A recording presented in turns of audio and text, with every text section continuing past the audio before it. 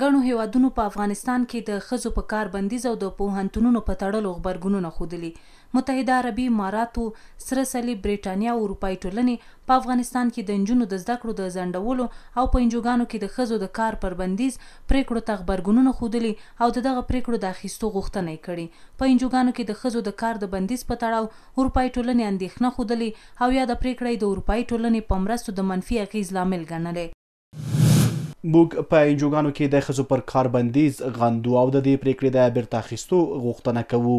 دا د طالبانو مسولیت دی چې نړیوالو بشري حقونو او اصولو ته ژمن پاتې شي. دا پریکړه به افغانانو سره د اروپايي ټولني پر مرستو بده اغیزه پریږدي.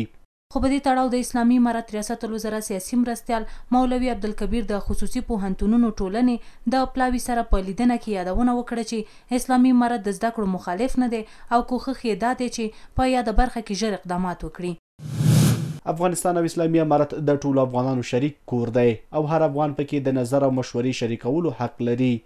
اسلامي امارت د انجونو د زده کړو مخالف نه دی، خو هڅه کوي رامنځته شوې ستونزه ژر حل کړي.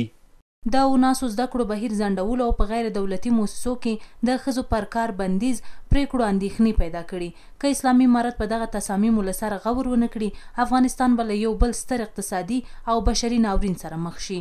ای خود تپپ میشه که باز اعتماد جهان اعتماد مردم هم کم شده میره از امی حرفهایی که ما میشنویم ای تصامیم باید است فورا اصلاح شود ای تصامیم خساره مردم افغانستان است و باید است که بحران بشری که در افغانستان فعلا در این زمستان وجود داره این مد نظر گرفته شود و به صورت فوری تصامیم گرفته شود که افغانستان به یک مسیر مثبت در حرکت دره فعلا ما در مسیر منفی هستیم که برای ما خطرناک است دا په داسې حال کې ده چې د ډسمبر په دوه ویشت مه نېټه د اسلامي امارت لوړو زده کړو وزارت په یوه مکتوب کې ترم رساني د ټولو نجونو لوړې زده کړې تعطیل اعلان کړې.